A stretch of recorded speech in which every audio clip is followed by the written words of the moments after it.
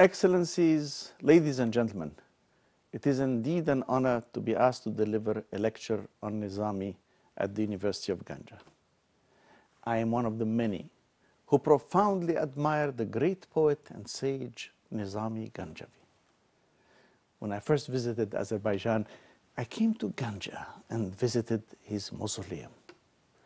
He is truly a global figure who continues to inspire artists to this day, from Germany's Goethe to contemporary poets, from Azerbaijan's Kara Karayev to the West's Eric Clapton. Nizam al-Din Abu Muhammad Ilyas ibn Yusuf ibn Zaki was born around 1142 in the town of Ganja, Azerbaijan. By the time of his death in 1209, he would leave his stamp on Azerbaijani history, Farsi literature, and global culture. He is known to everyone as Nizami.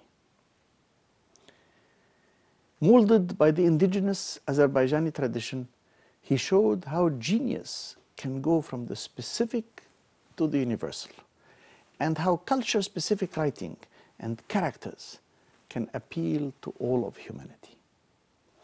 Steeped in local folklore, he transcended it to produce some of the greatest lyrical and epic poetry of the world. Educated locally, he became an acknowledged sage of his era, renowned for his vast knowledge of almost every subject.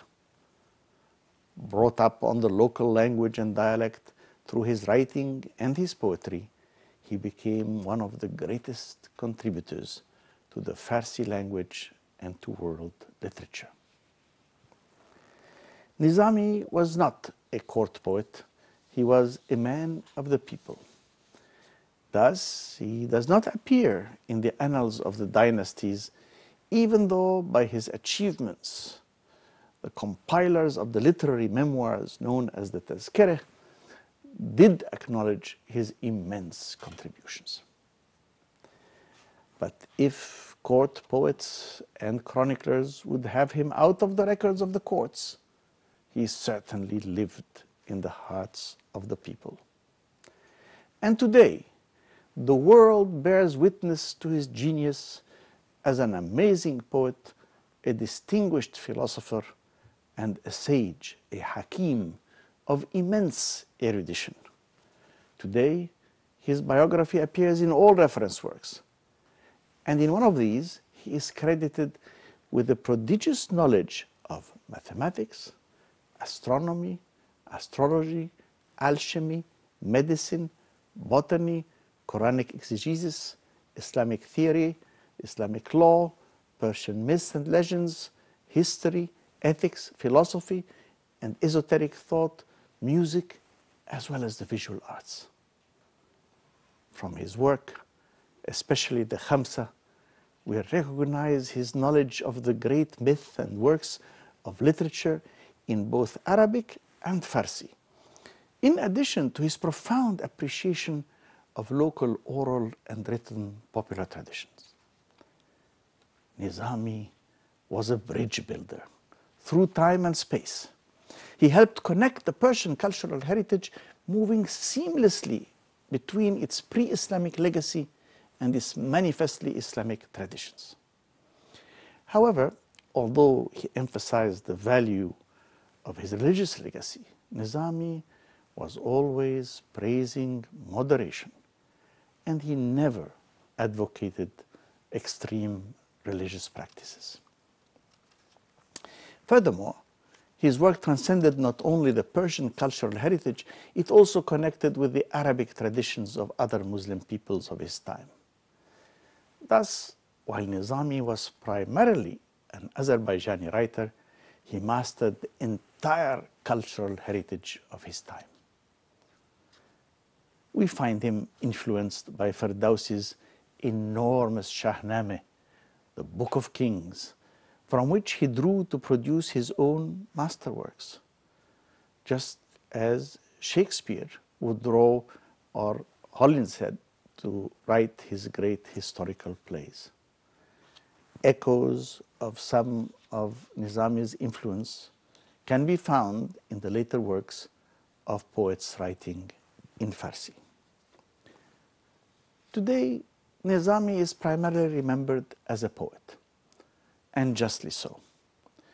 But in his time, he was also seen as a sage, a hakim, a great and honored title in recognition of his philosophic bent and his enormous knowledge of all fields of learning. Even today, he is quite often referred to as a philosopher, though he did not produce great synthetic works such as Ibn Sina or great Sufi works such as the Futuhat al-Makkiyah of Ibn Arabi. On the other hand, he was deeply concerned with society and the human condition. Indeed, as MacDonald remarks, Nizami was a genuine social reformer.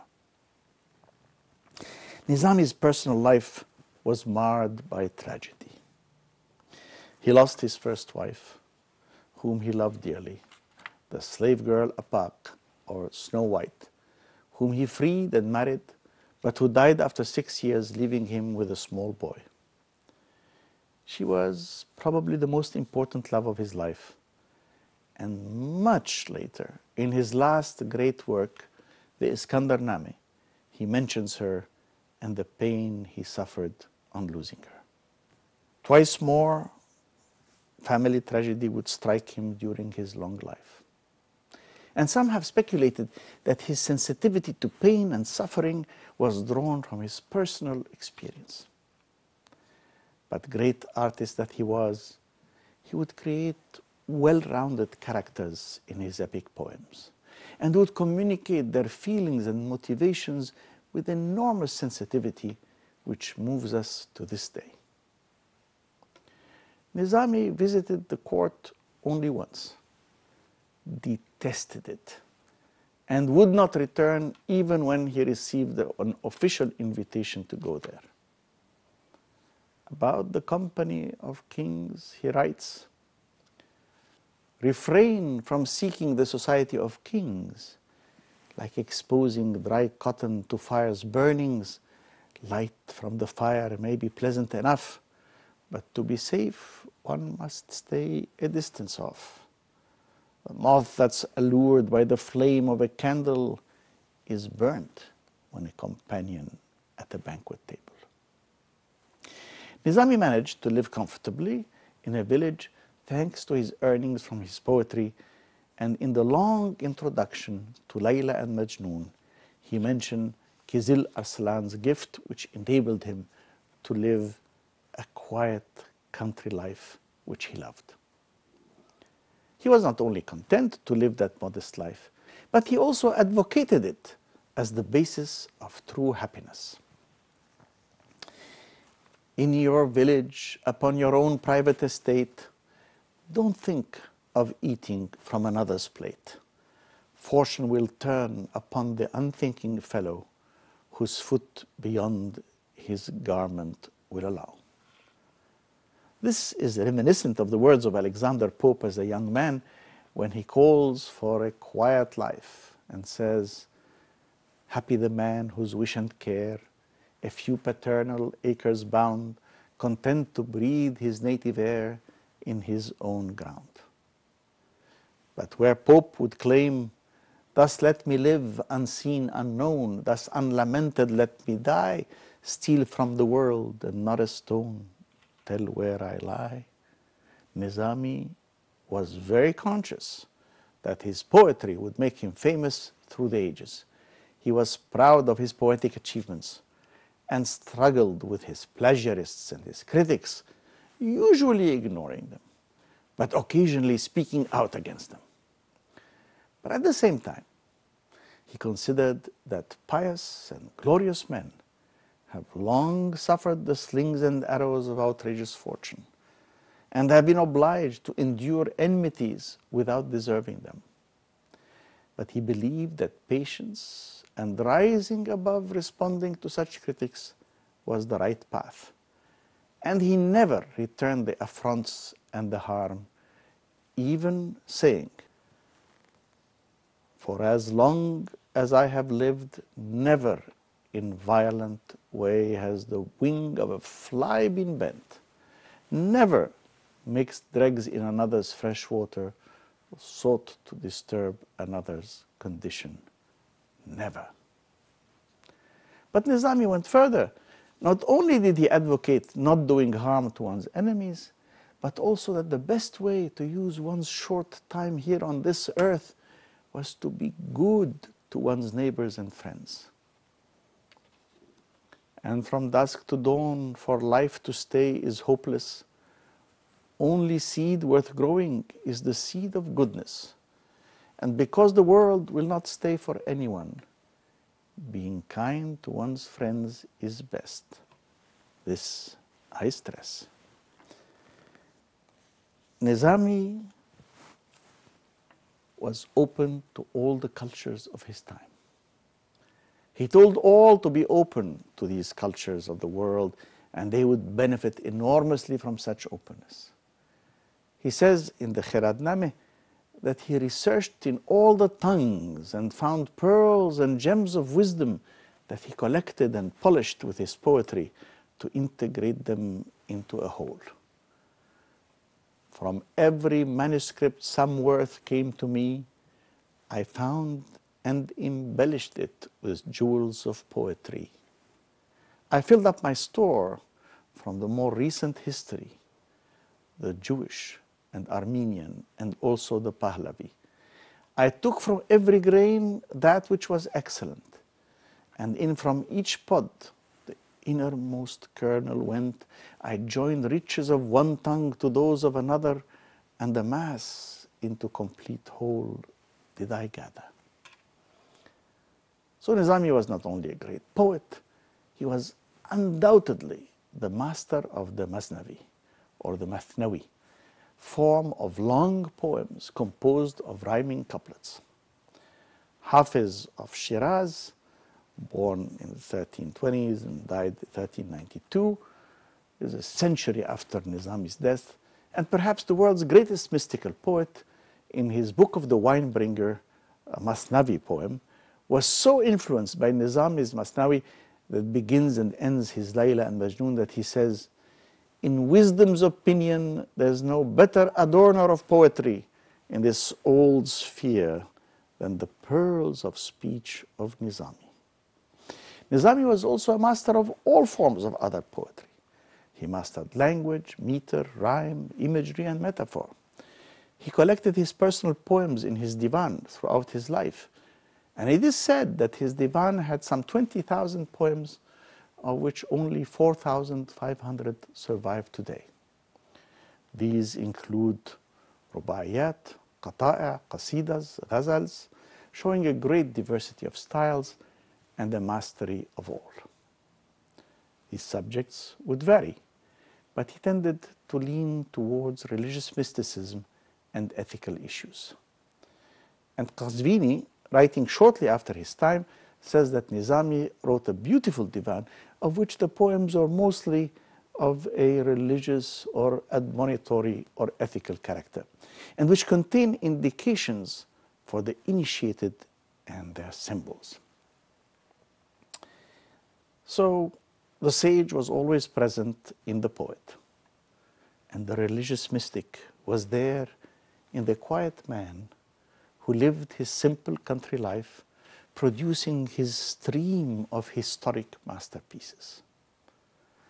His death in 1209 would leave a void in the world of literature. And Jami', the last great poet of Persia, in his masterpiece Joseph and Zuleika, sadly emphasizes the loss of so great a talent, so wonderful a person, and says, Where is Nizami? Where is his soul alluring poetry, delicate refinements of his genius full of subtlety? He has gone, taking his place behind the screen, and all but him remaining outside have been, since he withdrew, we have received no portion except those mystical words he took, everyone, None knew them except he who God is near, whose true heart with the divine is made clear. He washed his soul from the image of diversity, seeking to fill it again with the mystery of unity. That was the judgment of the great poets of the great Nizami himself. But let us get back to his greatest legacy to the entire world, his enormously influential contributions to epic and lyrical poetry. His works are still read, studied, and admired. Much has been written and said about that great poet and his five jewels, the Khamsa, Arabic for five. Quite simply, he is the towering figure of romantic epic narrative poetry in Farsi. His choice of subjects, his style, his use of the rhyming couplet, his originality, all make the Khamsa, the five jewels, an unequaled masterpiece, which Chelkowski describes as one of the finest collections of poetical tales in Persian or Farsi literature is the Khamsa or the Quintet of Nizami. These tales, written during the last third of the 12th century, abound with action, intrigue, pageantry, and romance. The plots are dramatic, the characters full blooded, and vulnerably human in their psychological makeup. And the overall design is so rich in allegorical meaning that the reader becomes deftly attuned to the higher plane of mystical thought. As a composite and panoramic view of life, these tales are a match for any chivalric romance in the West. The first of Nizami's five jewels is the Makhzan al-Asrar, or the storehouse of the mysteries. It was composed in the 1160s or the 1170s, and it is the only one that is not a narrative epic romance. It is a reflective and didactic quasi philosophical poem of 2,250 rhyming couplets. It's divided into 20 chapters, each covering a discourse on a religious or ethical subject. Each chapter is signed by Nizami. In this poem, Nizami sketches out his vision of the ideal way of life, banning injustice and hypocrisy, vanity and selfishness. Nizami addresses all of mankind, not just the king to whom it is dedicated. However, Nizami's language play and his use of philosophical and scientific learning makes this work difficult for the average reader. And this is probably the work with which Nizami most approaches the Sufi tradition. In fact, in the introduction, he specifically mentions his khalwat, or meditative solitary vigils. Makhzan al-Asrar was highly regarded, and it influenced, among many, some great works, such as Amir Khusro's Matla al-Anwar, or the Dawn of Lights, and Khajuk Kirmani's Rawzat al-Anwar, the Garden of Lights, and Jami'a's Tuhfat al-Ahrar, the gift of the noble. Later on, with the other four of the five jewels, Nizami finds his true vocation to be the greatest poet of romantic epics in the Muslim world. It is also in these four other jewels that Nizami rightly earns his attribute of bridge builder. Khusru or Shirin, literally Khusru and Shirin, the first of these four jewels is a remarkable epic romantic narrative. It is titled Khusru Shirin, which he wrote in 1177 to 1181 and it is influenced by earlier pre-Islamic Persian traditions, notably the story of King Khosrow's courtship of Princess Shirin and winning her over his rival Farhad. They all die at the conclusion, and there is no happy ending. The story is told with great lyrical intensity. The structure of the narrative is quite complex, using several genres simultaneously.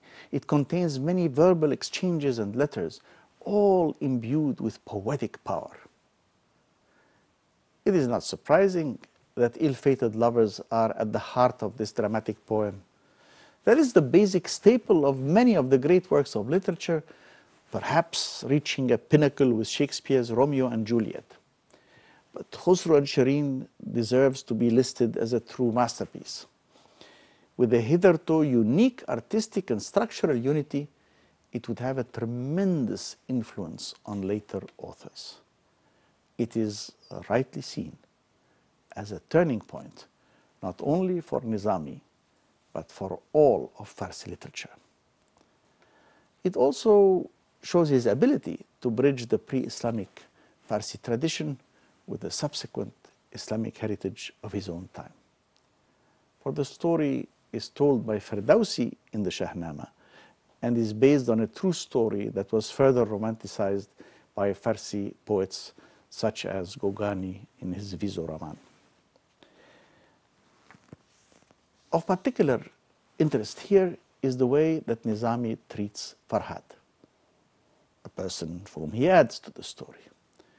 In many ways, I find Farhad the true hero of the story, regardless of the title of the poem. For it is Farhad's love for Shireen that is tested. It is to win her that he undertakes the impossible task of reshaping the mountains and redirecting the natural flow of rivers and creates a masterwork so immense, so stunning, that people come from far and near to admire and to learn from the masterpiece. And one of the most moving passages is when he, Farhad, is told falsely that Shireen has died.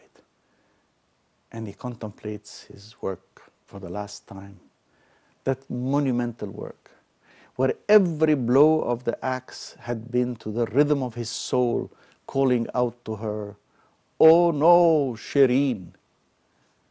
He contemplates and he says, Beyond the portals of death, my Shireen, I will greet.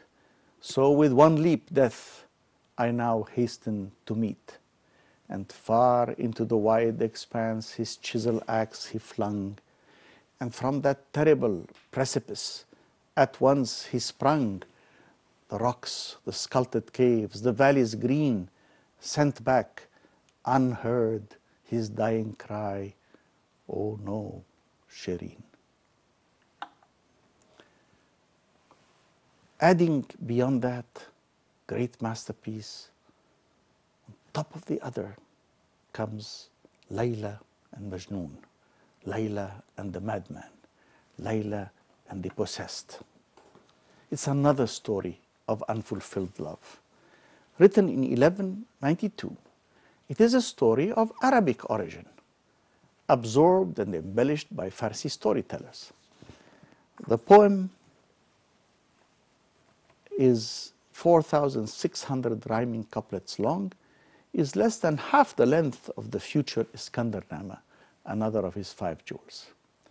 Like Khosrow and Shirin, it is a legend of ill-starred lovers. The poet Qais falls in love with his cousin Layla, but her father disapproves, and they are prevented from marrying. The distraught Qais roams the desert, obsessed with his love, and lives with animals and writes poetry. She resists her marriage to another, but Qais returns to her after she dies and cries at her tomb. The obsession of Qais becomes so severe that he is given the sobriquet, the possessed, or the madman, Majnun, Majnun Layla. Nizami has added much of his own to the Arabic parts that make up the story. The same theme would, of course, be taken up by Shakespeare in his masterpiece of Romeo and Juliet four centuries later. And in the early 20th century, Ahmad Shawqi, the greatest Arab poet of his time, would also use the story of Layla and Majnun to write a beautiful verse play by the same name. Initially, Nizami was dubious about attempting this project. While the love story was very moving, he was concerned that the setting was too severe, too austere for his poetic images. Rocks, desert, the Arabian arid wilderness as a stage, two simple children as his heroes, nothing but unhappy passion. How could he turn that into a great epic poem? Yet he did, bringing out all the force of unrequited love, the agony of the separation, and the almost mystical transformation of worldly love to a sublimated love that touches the divine. His poem, well structured, skillfully connected the parts of the story to maximum effect. It remains unsurpassed, although great poets like Hatifi and Jami' as well as that other great Azerbaijani poet Fuzuli, tried their hand at that same material. But they fell short of Nizami's masterpiece. Nizami drew on prior and original material to produce Layla and Majnun. Isfahani's Kitab al-Aghani devoted some 90 pages to the story of Qais the Majnun. But Nizami also had access to the material of Qais ibn al-Mulawah himself, who lived in the second half of the 7th century among the Bedouin Arabs, the Banu Amir tribe in Najd. But if these were the raw materials he employed, the edifice he constructed was completely his own. Yet, we are told that he constructed that magnificent edifice, that he wrote the entire 4,000 couplets in less than four months. And he boasts that if he had not had other duties, he could have finished it in two weeks. How can anyone produce such an amazing literary masterpiece in so short a time? Ah, that is where you can differentiate genius from mere talent. It was this ability to bring to life these amazing love stories that would make Nizami famous among writers through the centuries. Indeed, the great Goethe says of him, a gentle, highly gifted spirit who, when Ferdowsi had completed the collected heroic traditions, chose for the material of his poems the sweetest encounters of the deepest love. Majnun and Layla, Khosrow and Shireen. Lovers he presented, meant for one another by premonition, destiny, nature, habit, inclination, passion, staunchly devoted to each other, but divided by mad ideas, stubbornness, chance, necessity, and force and then miraculously reunited. Yet in the end, again, in one way or another, torn apart and separated from each other. Thus did Goethe recognize the talent of the magnificent sage. But despite the enormous appeal of Layla and Majnun, it is, I think, the Haft Paikar or the Seven Beauties, also sometimes called the Bahram Name or the book story of the King Bahram Gur, which is probably the greatest of these five jewels. A pre-Islamic Farsi story, it is a romanticized biography of the Sasanian Persian Empire ruler Bahram Gur. Bahram's life and adventures had already been written about by Ferdowsi in the Shahnameh, which is acknowledged by Nizami. But the great poet has his own interpretation of the story. He omits or passes over lightly the parts of the story that Ferdowsi had covered and concentrates on new material. Thus, his work remains original. In fact, Nizami's Haft Paikar, or the Seven Beauties, is much more than a chronicle of the history of a king. he builds his masterwork on it. Just as Shakespeare built his historic plays, taking the actual history of England as a platform to build his masterful literary creations. Nizami weaves together the harmony of the universe, the links between the profane and the sacred, and many themes to produce an exciting, fast moving story with interesting characters, and while so doing, again links ancient and Islamic traditions. It is one of the most important creations of Farsi literature and even of all non-Western literature and deserves a place with the best of global literature. He drew from all the available literature before him. He cites Tabari and Bukhari and other books in Arabic and Farsi. He drew what pearls he could find, but he just used that as raw material to build his own masterful construction. Seven, a mystical number for many, plays an important role in that story of King Bahram Gur. But the stories are complex and have many interconnected vignettes. For one example, Bahram Gur had a slave girl, Fitna. She was his favorite, and he wanted to show off for her in his hunt. He asked her to challenge his talent with the bow to hit any part of the animal he was hunting. Coquettishly, she challenged him to transpire the animal in the hoof and the ear with one shot. He threw a piece of clay into the animal's ear, and when the animal tried to dislodge it from his ear, he shot his bolt and pinned the hoof to the ear. He had achieved the impossible challenge.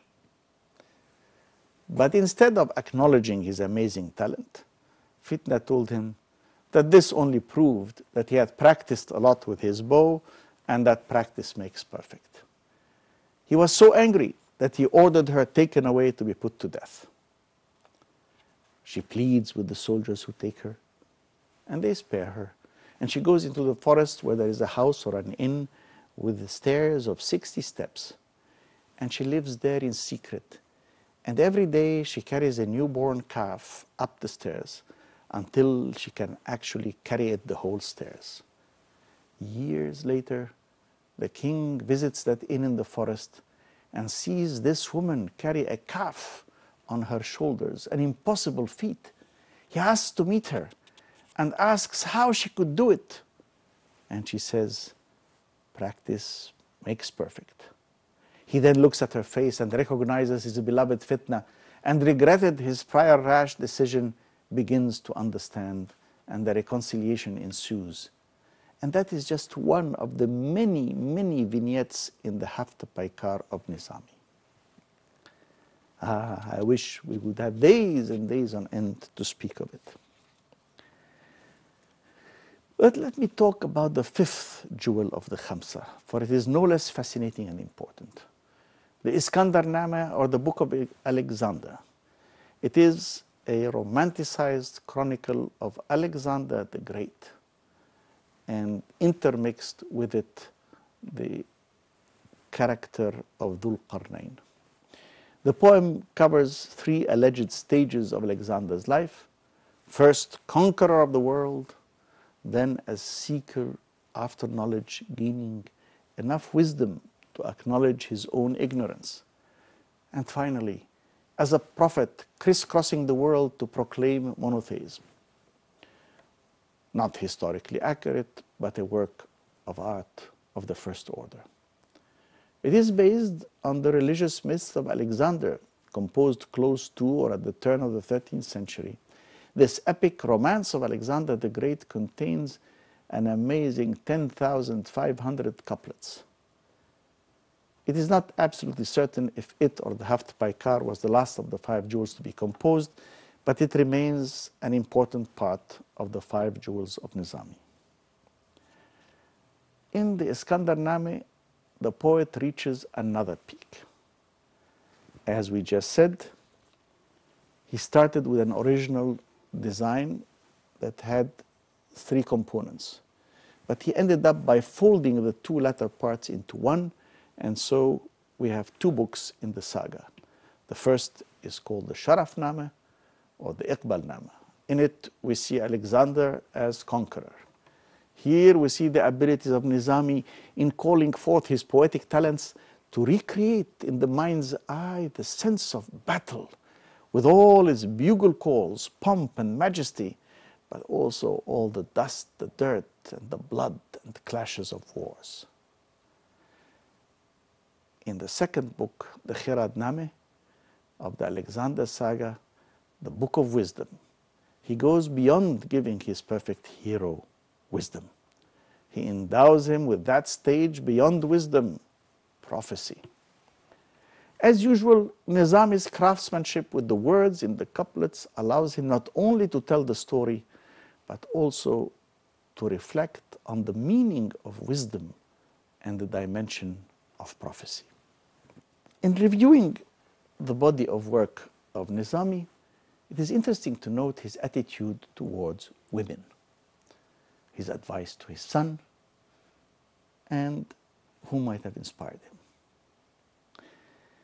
What's intriguing about Nizami's depiction of women is that in his epic romantic poems, they are indeed endowed with great beauty, elevated on a pedestal, and are objects of desire that inspire men to great deeds as when Farhad literally moves mountains to win the love of Shireen. But the greatness of Nizami is that he does not limit himself to this typical idealized view of women so prevalent in his times and found also in so many of the chivalry tales in East and West, where beautiful and chaste damsels in distress inspire courageous knights to slay the dragon and rescue the damsel. Nizami portrayed women as full blooded creatures, well rounded, who evolved over time and who could be the equal of men in every way, even in the most unusual, such as physical strength. A striking example of this is how the coquettish Fitna in the Haft Paikar achieves that. She tells the king that anything can be achieved by determination because practice makes perfect, and is sent to her death for her insolence. But is spared and lives unknown for six years, during which she learns to carry a calf on her shoulders and carry it up and down 60 steps, a feat that few men could equal in physical strength. Likewise, it is a wise woman, Queen Nushaba, Nushaba of Barda, who teaches an important lesson to Alexander the Great in the Iskandarnama. The queen, who had recognized Alexander, who had come disguised as a messenger, tells him that she knows who he is, and then offers him jewels and gold to eat, which he refuses. To which she points out that yet men are killed for such treasure. And then she offers him bread which is produced by the same men who are killed for the inedible jewels and stones. In Nizami's world, the women learn, and his princesses are educated, skillful, and wise, as well as beautiful. In Layla and Majnun, the two adolescents meet in school where they study together side by side until Qais is smitten by Layla's beauty.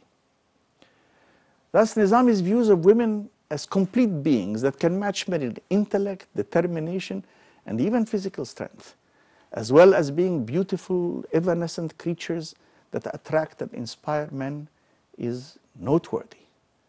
It is one more interesting facet of the magnificent sage of Ganja. And sage he was. Listen to Nizami's advice to his departing son.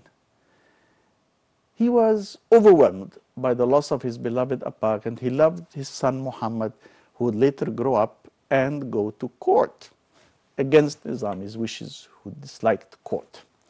However, Nizami then imparts advice to his departing son, much as Shakespeare in his play Hamlet, first scene of Act 3, would later have Polonius advise his departing son Laertes. Nizami says to his son Muhammad, Nothing deserves to be preferred to being a friend, a friend who will hold you by the hand to the end, that friend tightly by the cords of the heart you must tie.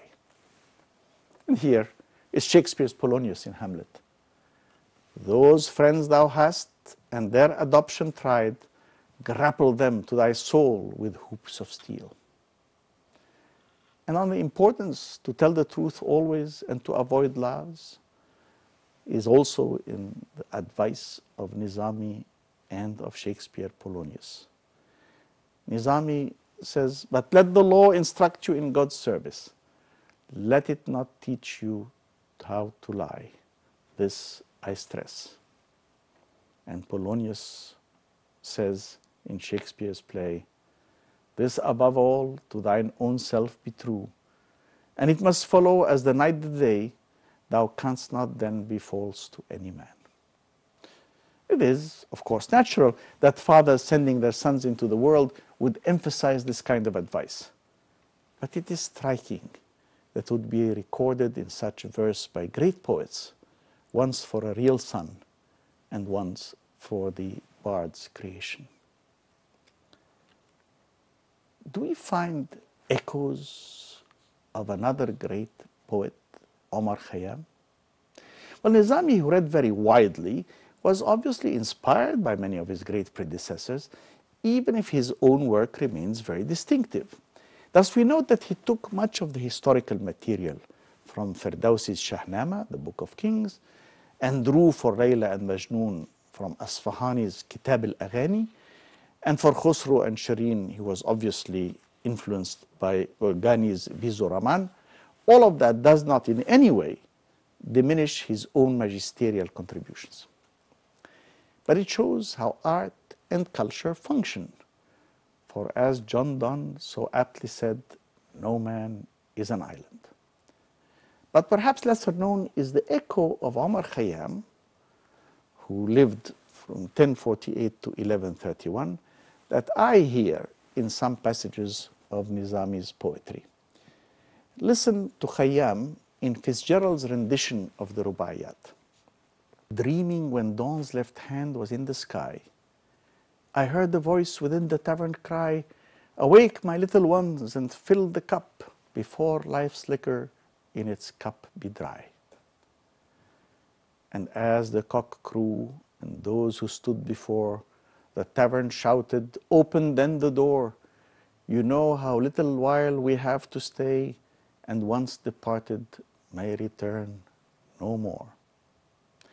The echo in Nizami's Divan as given by Smith's rendition. I went to the wine house last night, but away and I couldn't see. I called and called, but no one inside seemed to listen to me. Either no wine cellar was awake or because I was nobody. In there, nobody cared to open the door for me, obviously. And the wine seller finally answers his pleas by saying, it's not the time when doors open by one for anyone. Be more thoughtful. It's no mosque where door is always open, where you can come and go and push to the front deliberately. Every religious community in the world is here. Muslims, Hindus, Zoroastrians, Christian Jews, one community. Listen, if you've anything to say, then first you should go and make yourself dust under their feet. It is that easy. Now, it is clear that Nizami is not speaking of a literal tavern where wayfarers and locals go to imbibe real wine and get drunk. Indeed, Hafiz, the great mystical poet, decades after Nizami, wrote a magnificent Masnavi poem which he called the Book of the Wine Bringer. Khayyam who preceded Nizami by a century, was a polymath, and his Sufi tendencies would have been well known and probably well studied by Nizami, the amazingly erudite sage of Ganja. So even if Fitzgerald's popular rendition of the Khayyam quatrains gives them a more earthy flavor, the original is closer to the meaning of Nizami's lines and therefore deserves some mention here. But what about Nizami's legacy? Where does all this leave us? Nizami's work is more than a paramount symbol of great Farsi literature. It is indeed part of the global heritage of humanity. It has, like all great legacies, reached universality through deep rooted traditions, interpreted with great art. Tradition and art. It combines the storyteller's skill with the lyrical language of the poet. But what makes it great art is his richness of expression, characterization, use of metaphor, and sheer virtuosity of storytelling. In all of that, Nizami is unequaled. In his review article, New Light on Nizami, Naqshbandi comments on the poet's standing and renown, saying that it is of great interest to modern and postmodern readers that Nizami's medieval epistemology approaches the boundaries of the contemporary theory of intertextuality in its most general and consequential form. In addition, in addition, we all feel that beyond the art and craft of the wordsmith and the storyteller, there is the sincerity of Nizami. You feel that his sense of justice is real, it is not feigned. His spirituality reflects genuine piety, not a showy religiosity. His deep concern for the human condition is not just for the characters in his epics, but for all people. In doing so, he joins the ranks of the immortals. Nizami's masterpieces, his Khamsa, like all great classics from Homer to Shakespeare to the recent past, have stood the test of time. So it is most appropriate that he is celebrated not just in his native Azerbaijan, but in the whole world. Thank you.